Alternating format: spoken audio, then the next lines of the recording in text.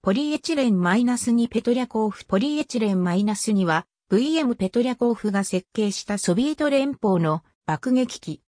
ザギーに1921年から所属していた VM ペトリャコーフは金属製収翼の設計を担当した後、1936年からは大型爆撃機の開発を中心とするゾック実験組織の所長に就任。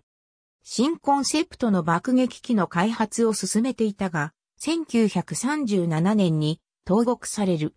いわゆるスターリンの大粛清で逮捕された彼は第156航空機工場の CCB-29 特別刑務所に投獄。獄中でキロバイト -100 と呼称される設計局を組織し、6-100を開発するように命じられる。これこそがポリエチレン -2 の礎となった機体であった。金属製主翼の設計を担当していただけあって、VM ペトリャコーフの応力外飛構造の設計は複雑ではあったが優秀であった。総発の水冷式エンジンは綺麗にカバー内に収められてソ連流である主翼内に冷却水ラジエーターを設ける構造だった。さらに、このラジエーターの冷却空気は主翼前縁からダクトを通って、主翼上面のシャッターの隙間から排出され、出力を増すことを意図していた。エンジンには、下級機、可変プロペラを装備した。機内装置のすべては電気化され、これはアメリカの影響を受けたものだと言われている。1939年、6-100の試作機の1号機が初飛行を記録。高度1万メートルで時速 630km を記録する。しかし、三座型の爆撃機仕様を量産に移すように命令が下る。理由は定かでないが、これは仮想敵国の中に高高度爆撃機を持ち合わせている国がなく、高高度戦闘機の開発が必要ないと判断されたためだと言われている。三座型の爆撃機型 PB-100 は1940年に認可され、試作機が製造された。6-100との違いは、ダイブブレーキの追加、機体構造や主翼の形状変更など多岐にわたる。下級機も取り外されてしまった。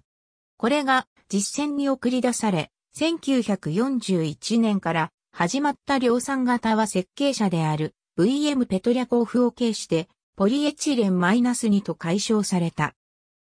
ドイツ軍のバルバロッサ作戦が開始される頃には、約450機が生産され、そのうち約300機が第24爆撃連隊や第5高速爆撃連隊に配属されていた。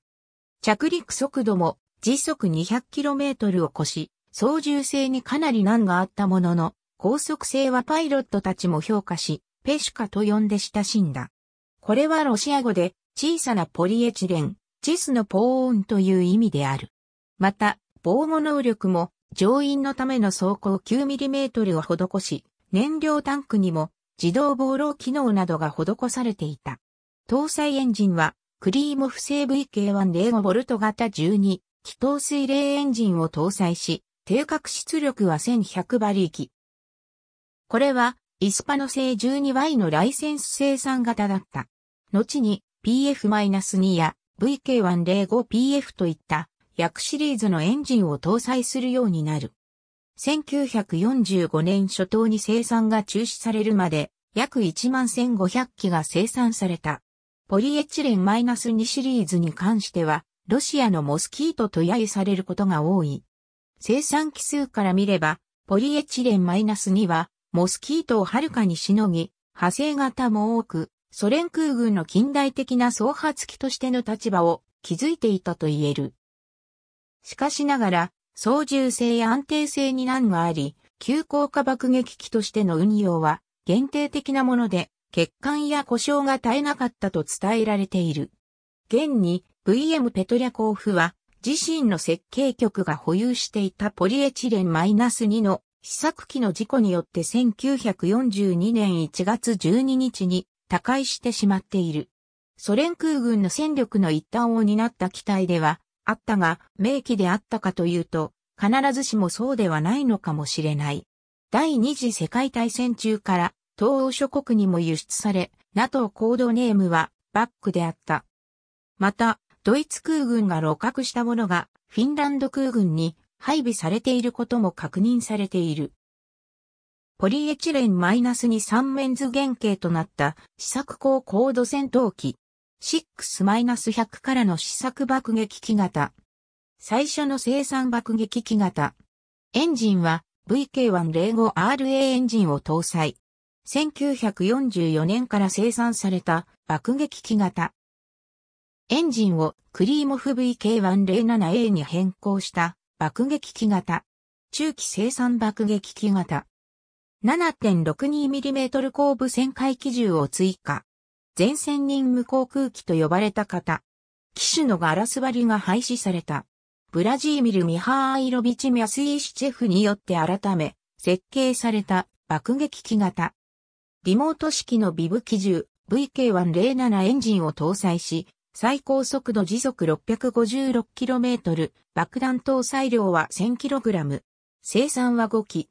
ポリエチレン -2i のエンジンを VK107PF に変更した方。少数生産。